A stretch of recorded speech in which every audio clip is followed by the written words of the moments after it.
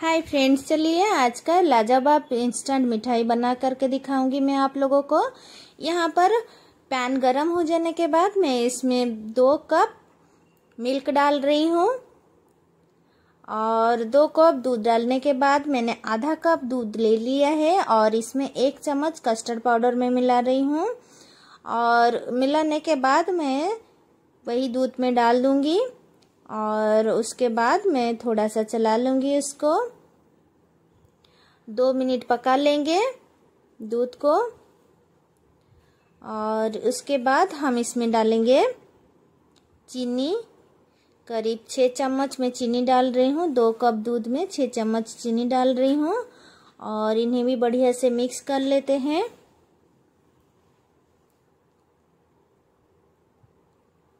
अब मैं इसमें डालूँगी ड्राई फ्रूट्स।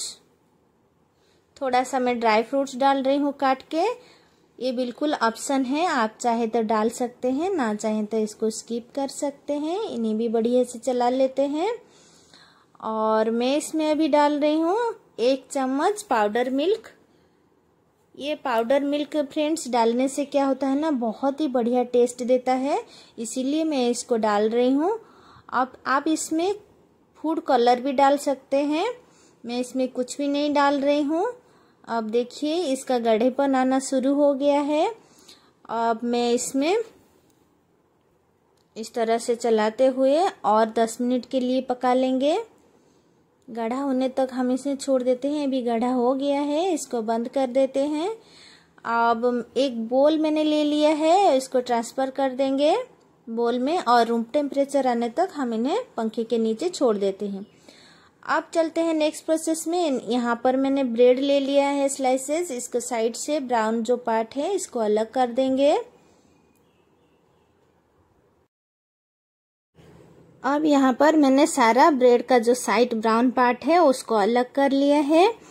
अब चलते हैं नेक्स्ट प्रोसेस में। यहाँ पर मैंने एक प्लेट ले लिया है। इसको प्लेट में कस्टर्ड मिल्क इस तरह से फैला लूँगी।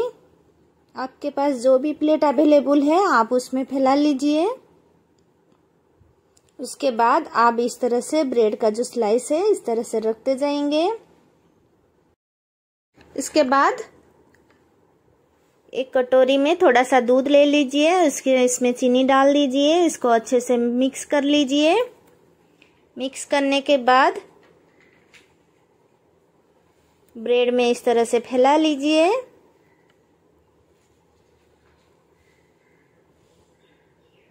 बढ़िया से सारे ब्रेड में आप लोग फैला लीजिए इस तरह से। फिर उसके बाद कस्टर्ड मिल्क थोड़ा सा आप फैला लीजिए इस तरह से।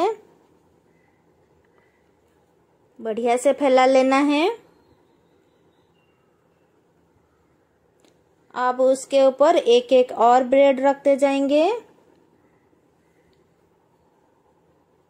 फिर इसके बाद आप थोड़ा सा मिल्क इस तरह से फैला लीजिए उसके ऊपर।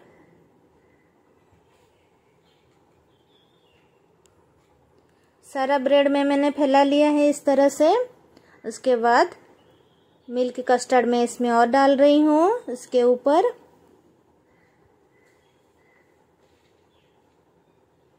इस तरह से।